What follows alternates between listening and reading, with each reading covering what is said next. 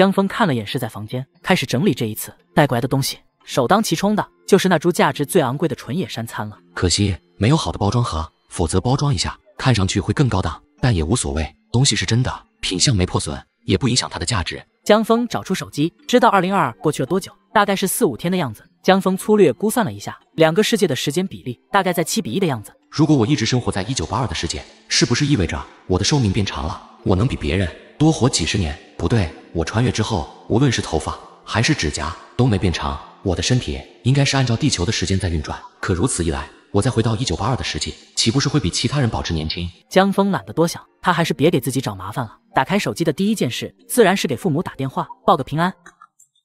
当听到父母还在外面旅游，没有回去，您二位这是又去哪了呀？儿子，你爸现在是网红了，我们现在是旅游主播。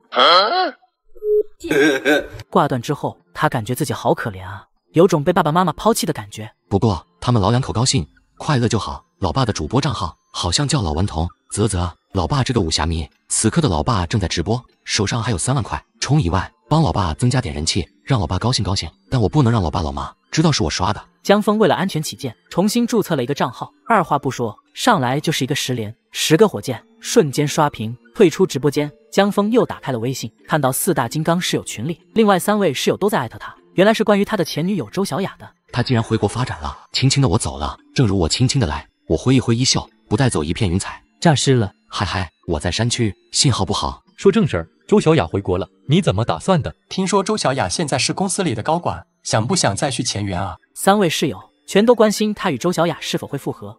既然已经结束了的恋情，我不打算继续开始。而且我们现在都有各自的事业和生活，不再打扰，对谁都是最好的选择。寡人有点累了，不陪诸位爱情扯淡了，退下吧。退出群聊，先将带回一九八二的东西买回来，丫丫的玩具安排上。丫丫是女孩子，应该会喜欢洋娃娃和玩偶。选完丫丫的礼物，江峰又找到了线上药店，将孔百灵的症状跟线上医生描述了一遍，买了一些市面上效果最好的治疗心脏病药物。还有哪些东西适合带回那个年代呢？弄点收音机回。最后花了近八千块。在睡觉前，他又给周一武发了一条短信，告诉周一武他回来了，欢迎周一武来玩。第二天一大早，周一武就打来电话：“江老弟，你回来了，太好了！上一次去你那儿，你不在家，我就在你那儿简单吃顿饭就走了。听你员工说你去进货了，这次搞来了什么稀有鱼？快和老哥我说说，还是松江鲈鱼吗？”周哥，你这么败家，嫂子知道吗？江老弟，这话说的，你周哥我可是一家之主，你嫂子在家都得听我的。我让她站着，她不敢坐着；我让她往东，她不敢往西。女人嘛，从娶进门之前就得教育。你嫂子早就被我教育的服服帖帖了。我去，周大哥你这么牛逼，嫂子知道吗？江风正不禁要为周一武竖起大拇指哥时，就听到电话里响起了一个女人的声音：“周一武，你想上天是吧？你刚刚说谁站着，他就不敢坐着；还你让往东，他就不敢往西。没看出来啊？你周一武挺厉害啊！”老头，你听错了吧？咱家可是老婆你最大，我老婆让我站着，我不敢坐着。江峰听到周一武认怂，顿时忍不住笑了出来。那个江老弟，我先挂了哈。你嫂子今天要假装一次家里的主人，我听她的话，我这不配合她呢吗？咱们中午见啊，等我。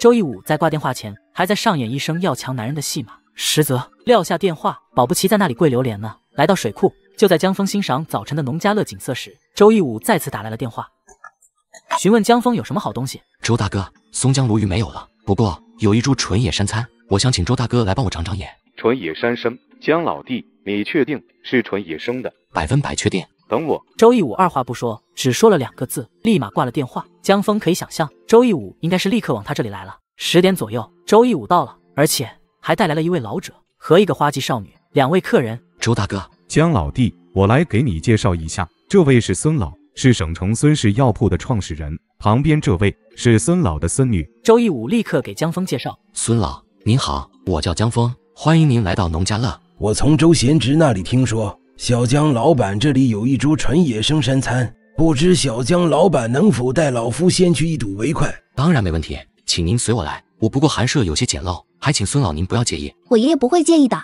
快走吧。带着周一武、孙耀农、孙芊芊三人来到了自己的房间。喂，江老弟，你这房内感觉跟我之前来时有点不一样了呢。可能是这些老物件让周大哥产生一种年代感吧。我说的吗？对对对，就是这些老物件，让我以为我穿越回去了呢。孙耀农看着双喜脸盆，爷爷，我记得我小时候，您的家里是啊，想当初我和你奶奶结婚，当时唯一买得起的就是这脸盆了，还有这脸盆架，都和当年的一模一样。目光又转到了竹制保温瓶、搪瓷水杯、老式军用水壶上面，触动了心底多年的回忆，眼泪都不由自主的流了下来。爷爷，您怎么哭了？爷爷没事，爷爷只是想起了当年的一些人和一些事儿。五十年了，仿佛一场梦一样。不好意思，让小江老板和周贤之看笑话了。我们理解您。周一武都颇有感慨，找到了儿时记忆中的样子。他知道，对于对那个时候有更多印象和记忆的孙耀农，自然会感触更深。好了，谈正事。小江老板，不知那株纯野山参在哪里？江峰早就在孙耀农感慨时，就把野山参拿了出来。孙老在这里，您搭搭眼。江峰将铁盒打开，递了过去。当孙耀农看到铁盒时，眉头一皱，下意识的看了一眼周一武，感觉自己被周一武忽悠了。江老弟，你没搞错吧？周大哥，孙老，这纯野山参是我从乡下收的，还没来得及包装起来，只能想用这铁盒最好的保护它不出现损伤。您二位先看，我觉得好东西在于它的品质，而不是外表华丽的外表。听江峰这么说，孙耀农接过了铁盒，然后开始仔细端详。江老弟，你千万别坑我啊！我可是把全部身价赌在你身上了。想到自己积压的那些中药材。唯有与孙耀农搞好关系，才有可能销售出去。周一武此刻的心都是悬着的。半晌后，孙耀农将铁盒子盖上。孙老，这人参是真的，真的是纯野山参。孙耀农点了点头，然后问向江峰：“小江老板，你这株野山参收来时应该没花多少钱吧？”江峰有些诧异，但还是点了点头。二百块确实不多。孙老，这株纯野山参是什么年份的啊？周义武听出了一些隐藏意思。不禁心头一动，孙耀农严肃的脸上终于有了笑容。这是一株至少有一百年参龄的纯野山参，唯一可惜的是挖断了几根须，但它的价值仍在三百万以上。三百万，